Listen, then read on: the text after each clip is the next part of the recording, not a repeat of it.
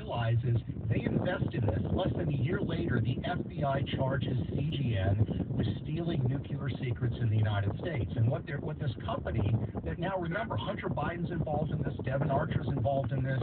This company is trying to get access to something called the AP1000 nuclear reactor, which is a small civilian nuclear reactor that's similar to the reactor that we put on our nuclear subs. But it's not just Biden and his family. I mean, look at John Kerry, his adopted son, if I recall properly.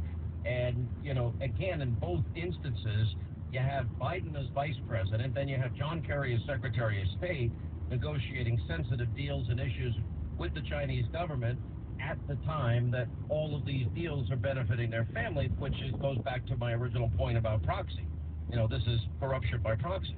Yeah, I mean, corruption by proxy is, is, is exactly the charge. And you have these three major deals that are occurring between 2013 and 2016 when all of this is going down. And, and this goes to the heart of the issue. I mean, if we're worried about a PAC contribution, from, let's say, an oil company influencing a politician, we should be concerned about major, large private equity deals that are being done with the children of powerful American politicians. And that's, I think, the key. That's, I think, the key element, and we need to change those laws. And the great irony in this is it's not just China, because you have a, a whole area devoted to Russia and the influence. You talk specifically about this oligarch, I forget his particular name, Kolomoisky. which he is barred entrance into the U.S. because of legal concerns and activities in the Ukraine.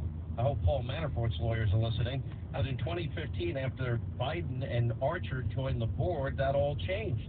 And with the intervention of the U.S. Embassy in Kiev, he was given admission back to the United States. Why, why was he given? What, what did they get in return? Well, that's a great question. So, you know,